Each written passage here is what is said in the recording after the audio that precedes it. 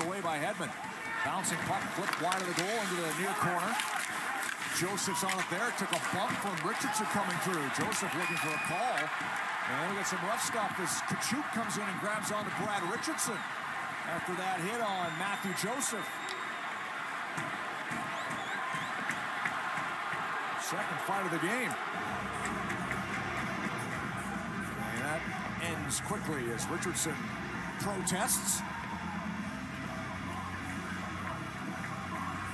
Boris Katchouk grabbing onto the Flames center after that hit on Mathieu Joseph by number 15. And they will go to the box. This is how that all started. We'll sort it out we come back. Lightning are on the board. Up 1-0 on Sportsnet. Referees Justin St. Pierre, Chris Lee talking to the Situation Room, trying to sort this one out. Still waiting to hear what the penalties are.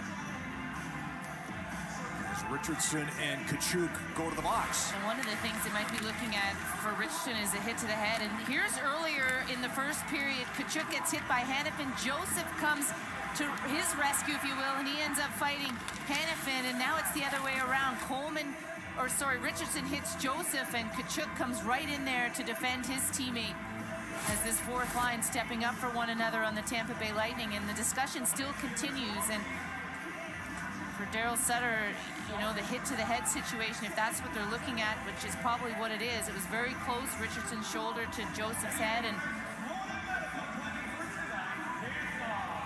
when they take this long, that's usually what they're looking yeah, at. I, I, there, I don't think there was a call on the initial hit on the ice, but it has been reviewed, obviously. You can see them looking at the tablet right there. Daryl Sutter waiting to hear what the decision is. One more look here as Richardson comes across. And with that hit on Joseph. And it definitely wasn't shoulder to shoulder. And Joseph immediately grabs his head. And he didn't get a big piece of it, but I think enough that that's the reason why the officials are double checking and knocked a screw loose, that's for sure. That's right. Literally. Takes the helmet. Boy, it's been a long review process here all through the break and continues now. And Corey Perry with the only goal in this game. Came here in the second period at the 12-21 mark. Question is, do the Lightning wind up with their second power play in all this?